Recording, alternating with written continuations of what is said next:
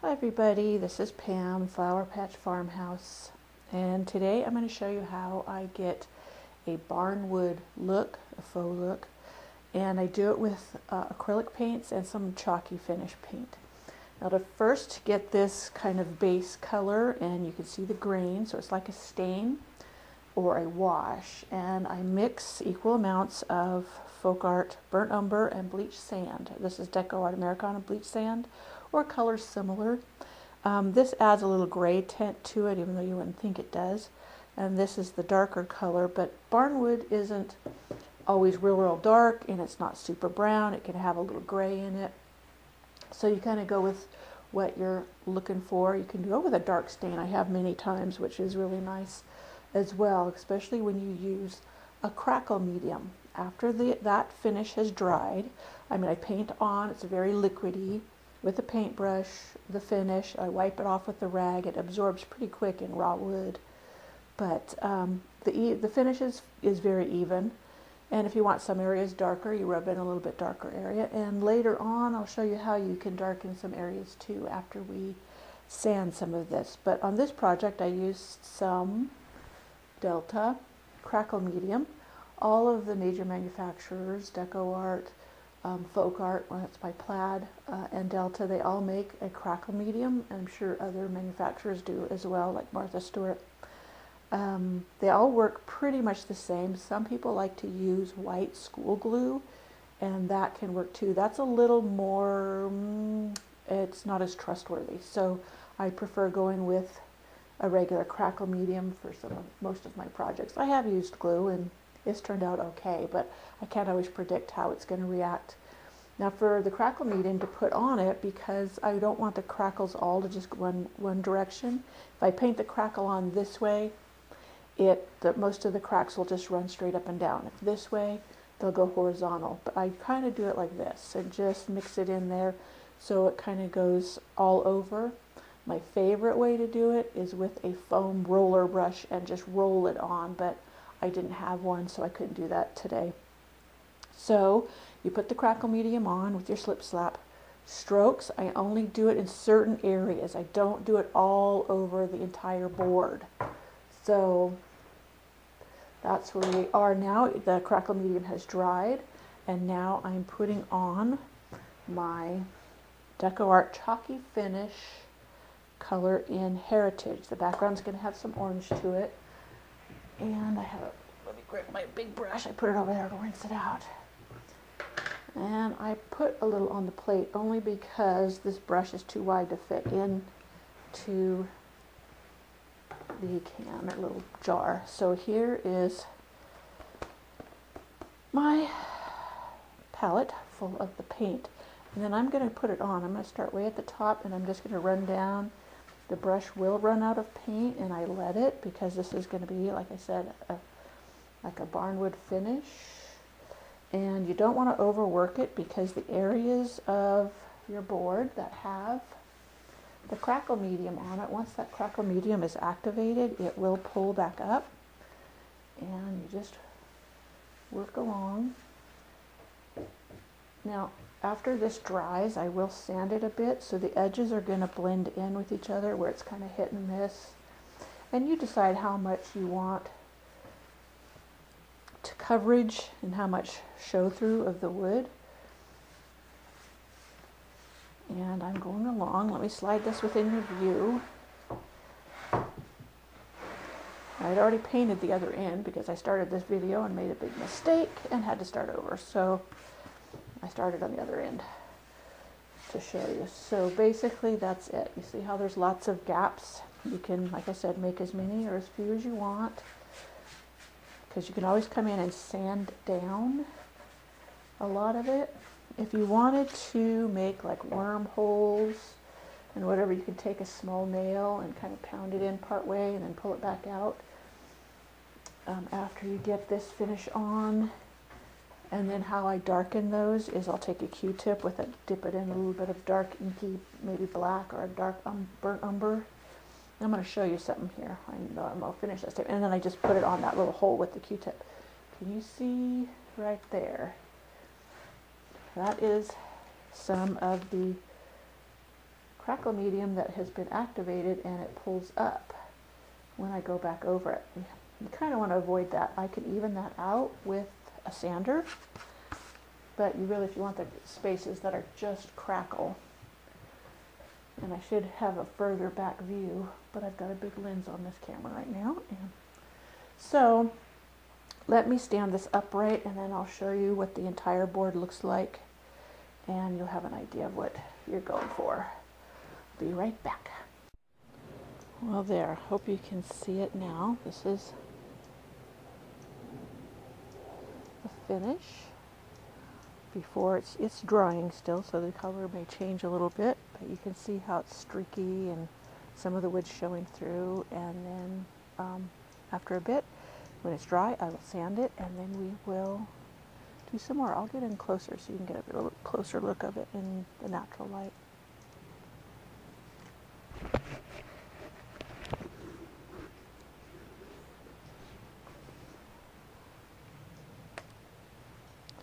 Why did it do that? Oh, okay, just briefly, here's a closer up shot. The, the darker orange is still the wet part, and the other is dry, and then the wood underneath.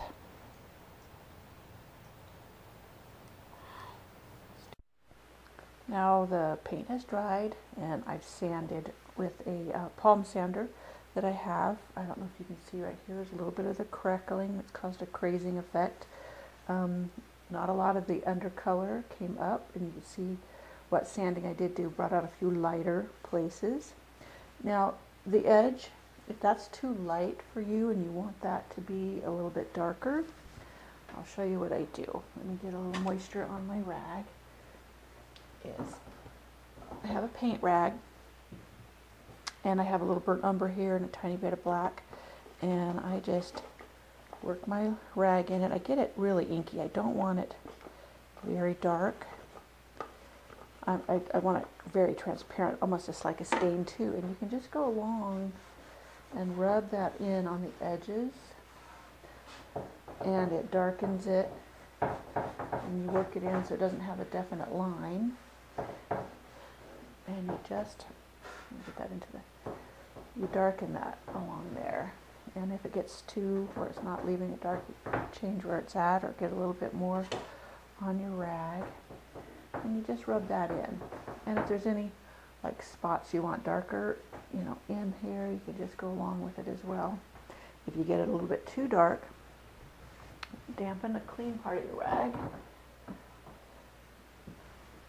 And you come along and kind of take it back up. You're not going to be able to get all of it back up, but you will get some of it. And you can lighten it that way. Or if you really hate it and you've made a big boo-boo, just take the sander to it and sand it back down. But it'll give you a, a measure of different shading in the wood.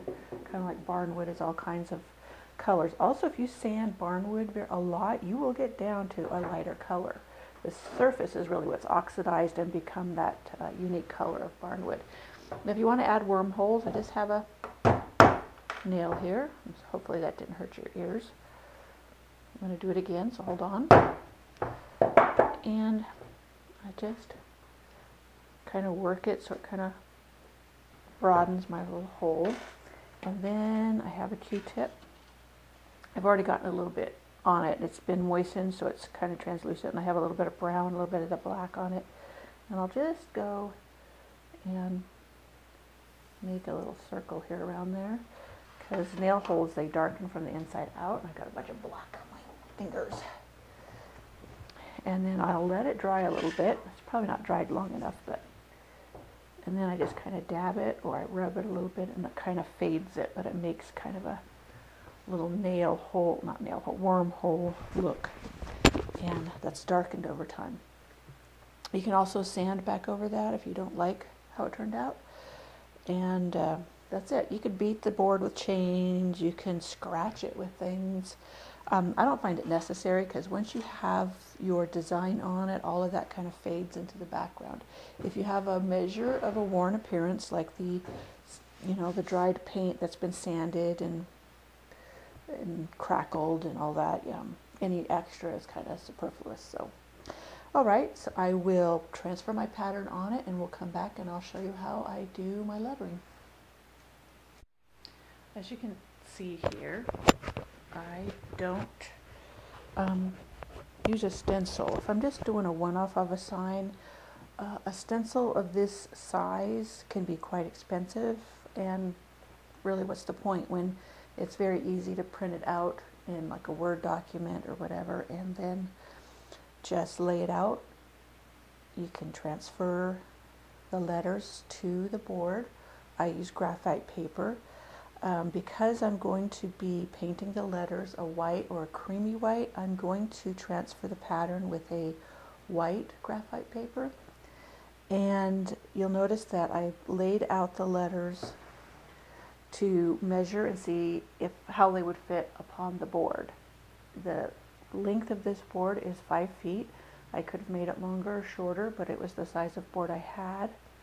Um, and then I set my letters out. These letters I spaced where the next letter would start approximately an inch from the lowest part of the previous letter. And I folded over the paper.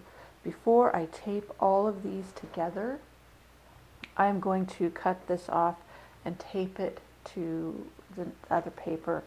The reason I'm, instead of just folding it and leaving it, is when I go to transfer it, the thicknesses of the papers will make it harder to make transfer the lines to follow for my lettering.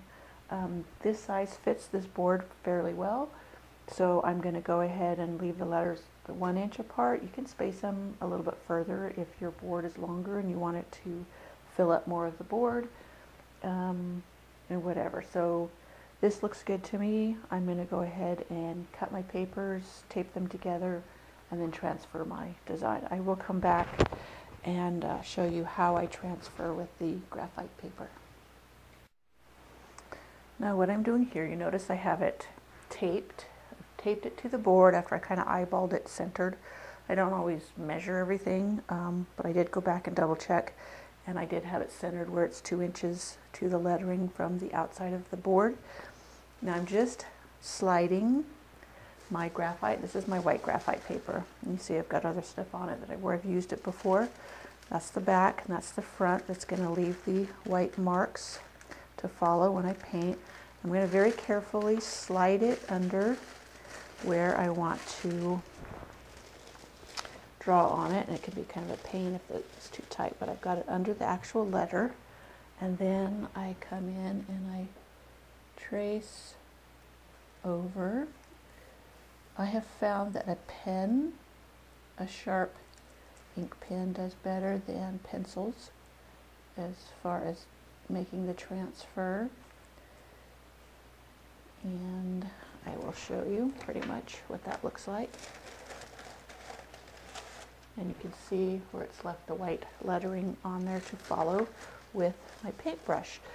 Now down here where the A overlaps the paper for the H, there's uh, a double layer of paper there still. I could have cut the uh, H from underneath paper so that this was less of a layer here, but I'm just going to go ahead and leave it and then just use extra pressure when I try to transfer through the double layer of paper. You might have to really give it a lot of pressure there if you um, are half blind like me anymore and you need to really see well.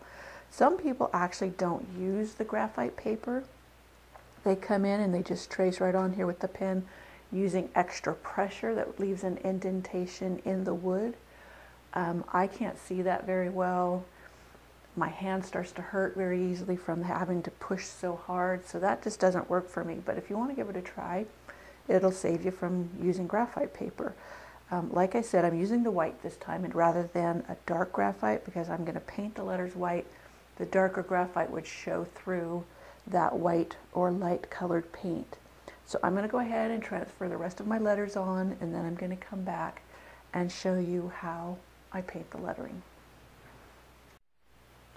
Here I'm going to start the lettering. I am going to do this in DecoArt Americana color of buttermilk. I wanted something less white than pure white or titanium white. or at least I think I do. We'll put some on here and see what I think. Now I dampen my brush, get a little water in my brush because I want to make the paint a little more inky. This is when I outline, sometimes for crisp outer edges. I don't always outline. In fact, I'll come back and show you how I sometimes go straight from the brush. But here it just gives you a straight, crisper edge sometimes than just a paintbrush, a flat brush going in. I need to wet a little bit more. I have my tub of water just a little too far out of reach. I need to move it closer. And I just outline the letters.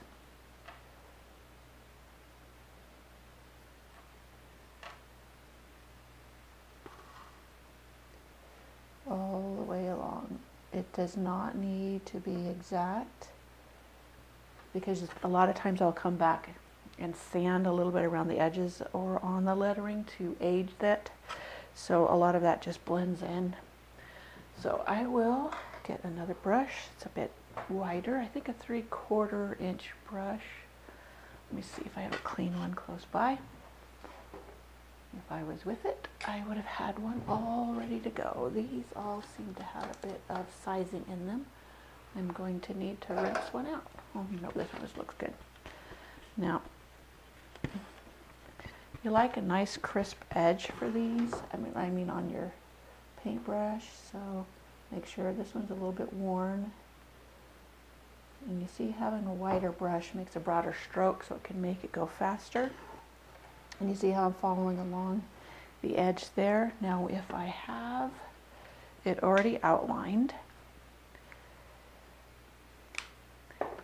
it's easier, or at least it's, I don't know, more comfortable, just coming right in, and you see I went over that line, but it goes a little bit faster. I don't try to be quite so precise along the edge since I already have it edged. And it's easier for little corners like this if it's already outlined.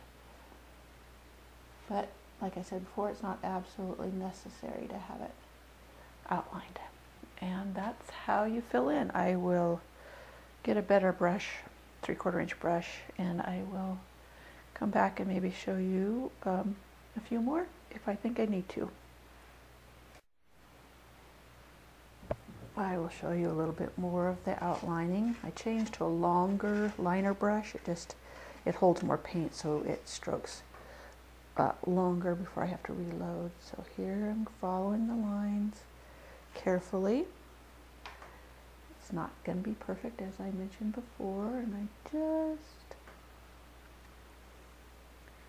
and every now and then I get a little bit more water to add to my puddle of paint on my palette because it just makes it flow easier. Going right over that line.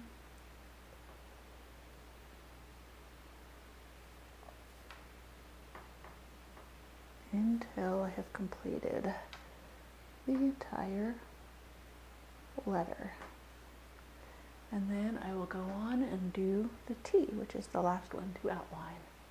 And I will be back and show you how I'm going to fill in a bit more. I'm going to demonstrate once more about the filling in after I've outlined. Um, the brush I did with the H, that was a one inch, and I thought it was awful bulky, and I couldn't figure it out until I went to rinse it out and realized it wasn't a three quarter inch. It was just a little too big. Even though it fit the size of the letters, sometimes it's hard to maneuver larger brushes. But here I am, I'm just going to go in. This is, is an actual three quarter inch brush, and it's just a little easier to get into tighter areas, but still cover very well.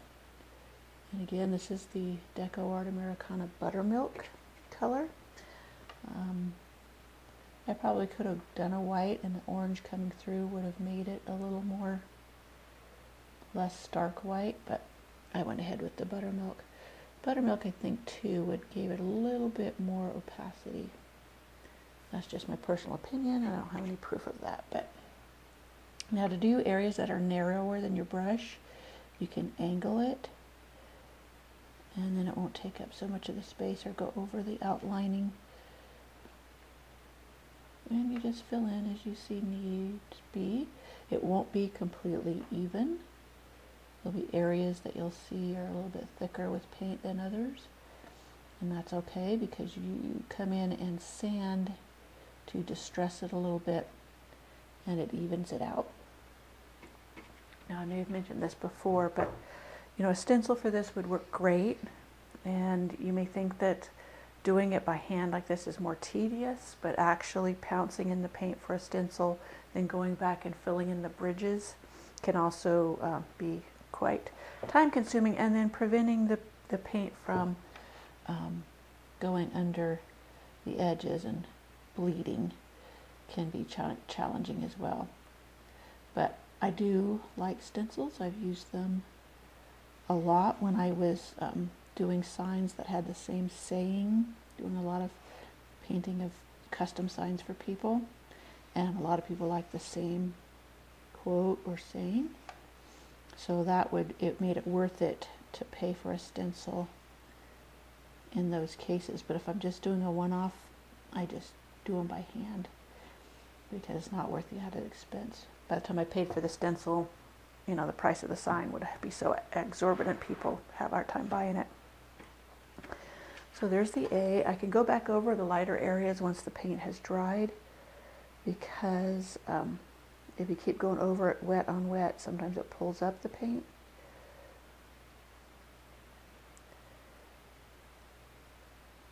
And that is how you fill in your lettering.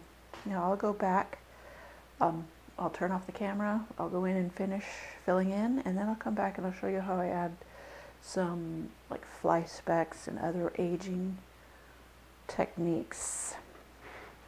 And I'll see you then. Now sometimes you can make a real mistake that you want to fix right away. Say I'm trying to do this and I come way out past the line or a little bit out of the line that I want. In that case, I take a clean painting rag that I have. There's a painting rag. You see my finger in there. I'm going to dip it in some water, clean water, kind of squeeze it out so I don't want it too damp, too wet. And, and I just go along and I clean up that edge with it. While the paint's still wet or relatively wet, it will come right up. In fact, a little bit of the orange came up, but that's not a big deal because you want it to look faded in spots anyways. So that is how you fix some little mistakes you make along the way if you get out of the line and what have you, or if you splatter paint in an area you don't want. I've done that many times or dropped my paintbrush. So that is how you can quickly fix your error. So now we're going to add some more texture, I guess, or dimensions with fly specking it's called. So I have an old toothbrush and I have used burnt umber. I got the toothbrush wet, worked it in and made it like an, an inky consistency. Now this can be very messy, but I do it with my finger and you just pull back on the bristles. Do it carefully because you can get some pretty big spatters. And um, I try to do it when it's drier. I mean, the sign board is drier. That way, if I really hate it, I can kind of wipe it in a little bit and then go over it. I don't know if you can see that very well, but there's some fly specking in there on top of the letters. Um, a lot of times I would have waited till after I had sanded the dry letters, but these are still a little bit damp and I wanted to show you while I could. And you could also go back in to add the lighter color. There, you should be able to see the little brown specks right there. Um, it uh, creates some dimension and some texture. Also, I would come back with the buttermilk color in my paintbrush. You can see what a number it does on my fingernail. And then I would speckle maybe a little bit of the background. And then that adds that little bit of texture to that. And that is how you get that little bit of vintage touch a lot of times, I mean, I didn't this time, but many times I would have waited until after I had sanded the lettering. It's gotten dry enough I can go in, take it over to the garage and sand it a little bit. Or, since I'm not going to be doing a lot, I have a little sanding sponge here that I can take to it and sand the lettering lightly. Let me show you here. I got my sanding sponge over here. this one's pretty worn, so I just add a little, this is a 100 grit, and since that's still wet, I will pull my sign this direction somewhat. You can see this one has the speckling, but it's dry on there. And I'll wrap this around. I wrapped it around my little sponge, and I just, I go with the grain of the wood, and I just sand lightly, and it just kind of blends everything together. See, it wore off a little more of that paint. Blended in the speckling, which this these were ones I had tried to video before and my cart was full and I didn't know it and it kept shutting off on me. And so it also has a little more speckling than I had intended or would normally put on, but that is because I was retaking and retaking the video. And you can see how the sanding lightens it a bit. And I will get a clean rag to wipe off the sanding dust because it's getting the orange into the buttermilk color. And you see how it blends the paint down. When you're painting on, you'll have ridges of paint your let when you paint on your lettering, and that kind of takes the ridges down and ages it all a little bit. Blends your paint in. And here's the A. You see the, the cross piece there doesn't have a lot of paint on it as far as making it opaque, but that's okay. And you see how this knot is kind of coming up as I sand, so it adds to the vintage look. I hope that sandpaper sound isn't too loud on the camera. But, and there you have your sign and there'll be a full shot of the entire sign and I think that's pretty much it for this. Um, I would go over it with a matte polyurethane to, for putting it outside for a very long period of time and that's it. I hope you enjoyed how you hand letter a sign without using a stencil and you just like I said print it out with a Word software or something similar, I will actually have this lettering up on my website. You can download it and make your own harvest sign. So be sure and check on over there at flowerpatchfarmhouse.com to get a copy of that if you want to make your own harvest sign. Okay, until next time, this is Pam at Flower Patch Farmhouse.